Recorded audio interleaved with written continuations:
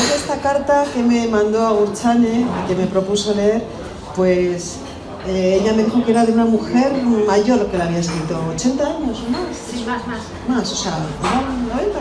Por ahí. Por ahí. Eso significa que cuando podía ser joven, bueno, estamos hablando de hace, no sé, de qué década, bueno, hace mucho. Tiene un lenguaje muy expresivo.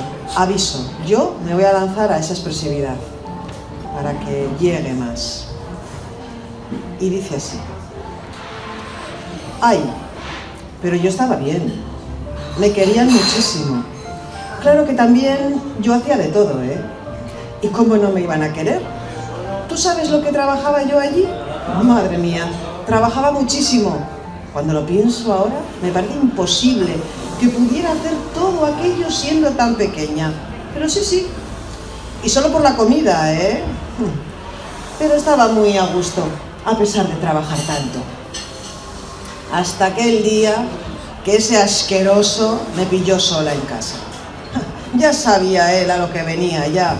Que seguro que estuvo esperando a que se fuera todo el mundo, el cabrón de él. Ya según le vi me di cuenta a lo que venía el asqueroso de él. Fíjate, contra una niña, indefensa, lejos de casa.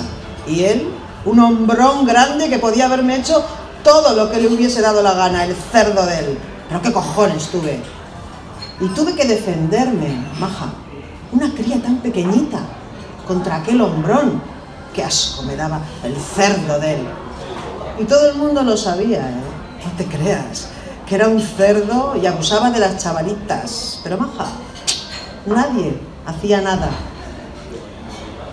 Pero yo que le veo que viene hacia mí, bajándose los pantalones, cogí el atizador de la chimenea y me defendí como pude hasta salir corriendo dejándole allí con todas sus partes colgando al cerdo de él.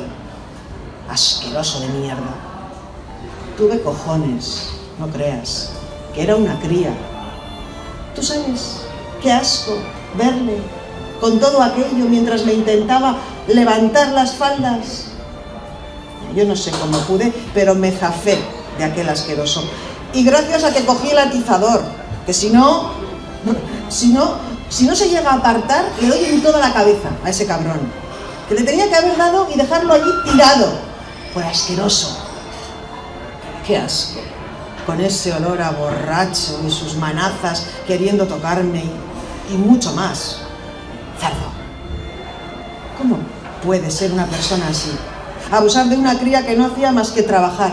¿Eh? Pero tuve cojones. Tan cría y me defendí. Eso sí, ¿eh? A mí no se me olvida nunca. Se me olvidan ya muchas cosas, pero eso, eso no se me olvida, ¿no? Que no lo consiguió, pero si llego a cobardarme un poco, vete a saber lo que me hubiera hecho y dónde estaría yo ahora. Y que no se me olvida.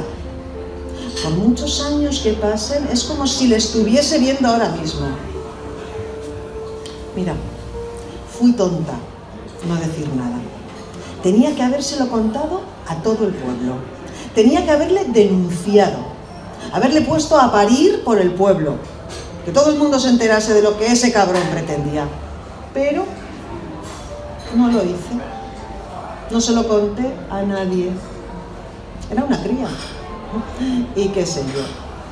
Solo me fui diciendo que quería ver a mis padres, que les echaba de menos. Y era verdad. Pero no me fui por eso.